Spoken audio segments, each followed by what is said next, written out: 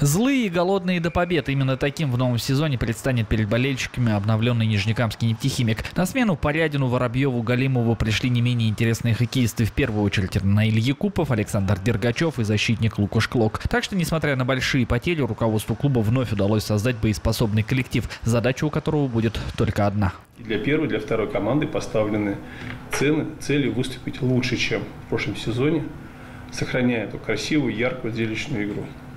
Поэтому мы действительно, понятно, выход в плей-офф и продвижение дальше. Насколько там позволят наши возможности.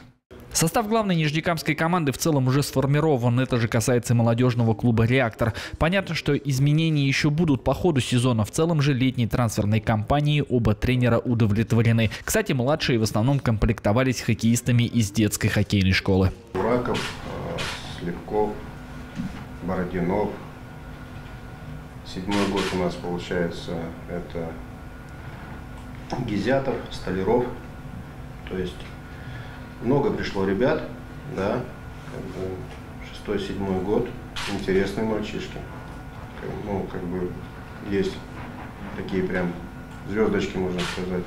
Сейчас наши команды активно участвуют в товарищеских и предсезонных турнирах. Болельщики уже заметили, результаты у главной команды не очень хорошие. Смущает многих и постоянная ротация состава. Но, по словам главного тренера Олега Леонтьева, ситуация находится под контролем. Частые изменения в линиях – это вполне нормальный процесс для сборов. Ну, ты попробуешь, ищешь и, естественно, находишь лучше, лучше. И поэтому мы наигрываем, попробуем так, попробуем в разных.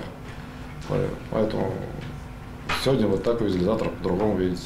Старт сезона у нефтехимика намечен на 2 сентября. В этот день наша команда дома сыграет против Минского «Динамо». Перед этим болельщиков еще ждет красочная презентация, которая состоится 30 августа в одном из торговых центров города. Александр Халин, Марсель Джураев, Артур Халин. Новости НТР.